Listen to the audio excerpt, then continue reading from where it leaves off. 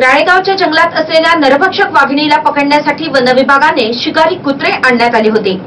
मात्र हे दोन्ही शिकारी कुत्रे परत दिल्लीला पाठवण्यात आले. त्यामुळे या नरभक्षक वाघिणीला पकडण्याची मोहीम थंड व्यस्तात पडली असल्याचा आरोप राष्ट्रवादी काँग्रेसचे प्रदेश सरचिटणीस डॉक्टर महेंद्र लोढा यांनी केला. यवतमाळच्या नरभक्षक वाघिणीला जेरबंद करण्यासाठी राळेगावच्या जंगलात सुरू असलेले मिशन टी वन कॅप्चर मधून आता शिकारी कुत्रे देखील परत गेले आहे इटालियन केन कोर्सो प्रजातीचे कार्लोस आणि बस्टर हे कुत्रे घेऊन अर्जुन पुरस्कार विजेते गोल्फ खेळाडू ज्योतिंदर सिंग रंधवा हे या मिशनमध्ये सहभागी झाले होते. मात्र दहा दिवस जंगल पिंजून काढल्यानंतरही यश मिळाले नसल्याने शिकारी कुत्र्यांसह रंधवा हे परत गेले आहे. याशिवाय पॉवर पॅराग्लायडर देखील नादुरुस्त झाल्याने त्याचाही उपयोग होत नाही. यापूर्वी या मिशनमधून पाच हत्ती माघारी पाठवण्यात आले होते. गजराज या हत्तीने धुमाकूळ घालीत एका महिलेला ठार केल्यानंतर गजराज सह सर्व पाच हत्तींना मिशन बाहेर काढण्यात आले. दरम्यान वन विभागाचा दोनशेहून अधिक कर्मचाऱ्यांचा फौजफाटा नेमबाज नवाब शाफत अली खान यांच्यासह हत्ती शिकारी कुत्रे पॉवर पॅराग्लायडर आदींचा उपयोग करूनही अद्याप नरभक्षक वाघेण व तिच्या दोन बछड्यांचा शोध लागलेला नाही. मिशनमधून मध्य प्रदेश येथील पशुवैद्यकांचे पथक हत्ती कुत्रे माघारी गेले. मात्र नरभक्षक वाघीण मात्र अद्यापही जंगलातच असून सर्व शोध पथकांना हुलकावण्यात येत आहे.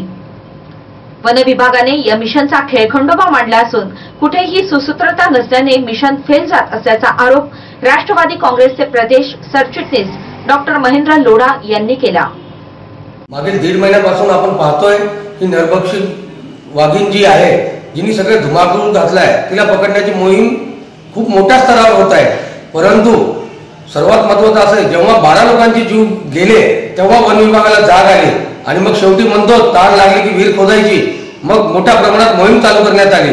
खूप सारे रोज पेपरमध्ये वाचतोय आपण हा शार्प शूटर आला हे कुत्रे आले हे पॅराशूट आलं सगळं आलं. सगळ्या काही गोष्टी येत आहेत परंतु वन विभागाला कुठंही यश येत नाहीये.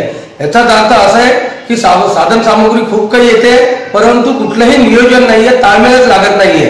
आणि एवढ्या मोठ्या प्रमाणात पैशाचा चुराडा होतोय खर्च होतोय. पण जर एवढं उशीर लागतंय पकडायला तर लोकात दहशत पण अजून जास्त वाढते लोकांना भीती जास्त वाढली आहे. वन विभागाला या सगळ्या गोष्टीचा विचार करणं जरुरी आहे आणि कुठंतरी एक सुसूत्रता कार्यक्रमामध्ये आली पाहिजे की नेमकं काय करायचंय? कधी शूटर येतो परत जातो. कधी कुत्रे येतात परत जातात. नेमकं कुठली प्लॅनिंग केली ही कुठेही प्लॅनिंग दिसत नाहीये. आणि ही मला वाटतं नियोजन शून्य ही मोहीम राबवतोय आपण. परंतु जर असंच चालू राहिलं आणि जर अशाच जर कुणाचा जर अजून काही मृत्यू पावले किंवा नरभक्षण वाघींमुळे कुठं जर मृत्यू झाला तर निश्चितच लोकांचा रोष खूप मोठ्या प्रमाणात वरती येणार आहे आणि त्याच्या त्यासाठी शासन सर्वस्वी जबाबदार राहणार आहे. शासनाने वन विभागाने वन मंत्र्यांनी याच्यावर त्वरित लक्ष घालून नेमकं कुठं चुकतंय नेमकं काय करायला पाहिजे याचा कार्यक्रम राबवणं अत्यंत जरुरी आहे.